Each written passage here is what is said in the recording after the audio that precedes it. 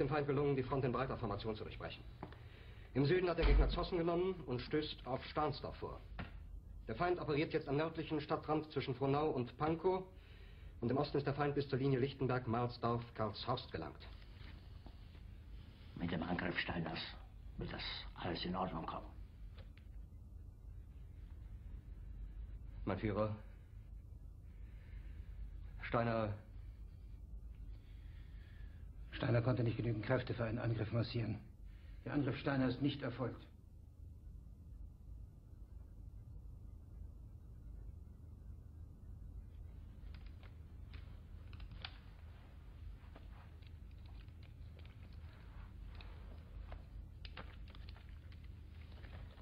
Es bleiben im Raum Keitel, Jodl, Krebs und Burgdorf.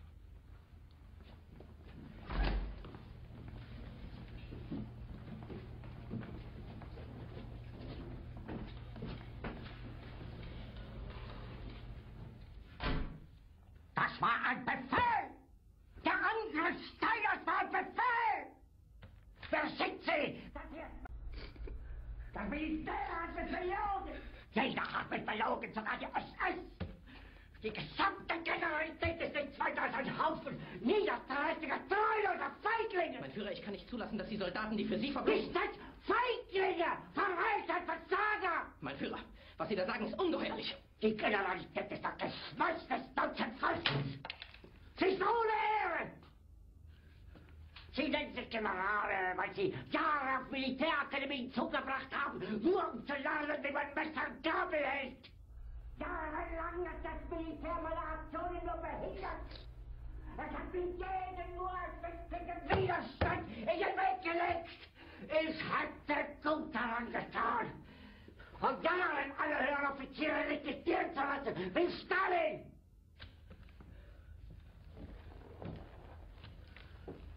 Ich war nie auf einer Akademie.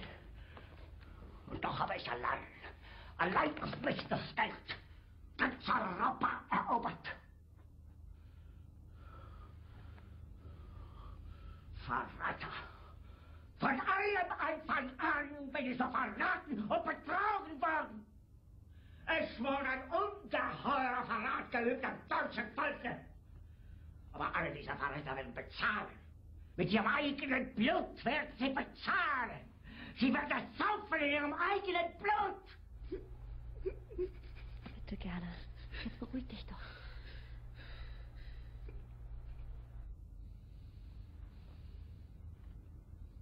Meine Befehle sind in den Wind gesprochen. Es ist unmöglich, unter diesen Umständen zu führen. Es ist aus.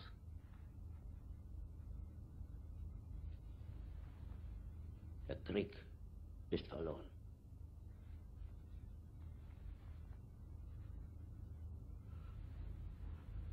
Aber wenn Sie, meine Herren, glauben, dass ich deswegen Berlin verlasse, irren Sie sich gewaltig.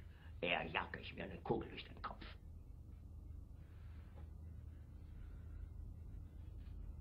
Tun Sie, was Sie wollen.